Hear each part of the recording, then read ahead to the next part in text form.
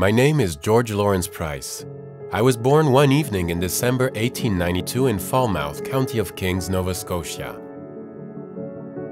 It wasn't yet winter, but it was very cold. I became an agricultural worker, not really my choice, more so the family tradition. But I liked my job, the fields, and the harvest. Then, my world was turned upside down. There was the war, the Great War. There, in Europe, my brothers were fighting to protect poor little Belgium. One evening in October 1917, a letter arrived for me. It was not yet winter, but it was very cold. I was conscripted for military service. I crossed the ocean, Liverpool, Southampton, Boulogne. I was in the 20th Battalion, 6th Brigade, 2nd Canadian Division. From spring till summer 1918, we fought with fury in the north of France. Our brigade advanced. The men were in good spirits. Me, I missed my fields, not battlefields. The fields of my Canada felt so far away. Cambrai, Valenciennes, we still advanced.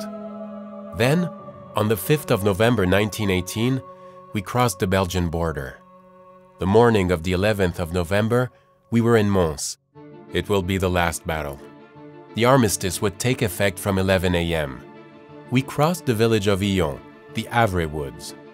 The German resistance was weak. The victory was close. We arrived in front of the Ville-sur-Haine canal. It is nearly 10. Arthur and I decided to search the houses the other side of the canal. It was then that the firing started. And then it is not yet winter, but suddenly I felt very cold. It was 10.58, I was hit. I felt colder and colder. There was a young girl who was holding me in her arms crying. She is free, I said to myself, and the last shot was for me. No more Canadians will die on this soil, I thought. And then,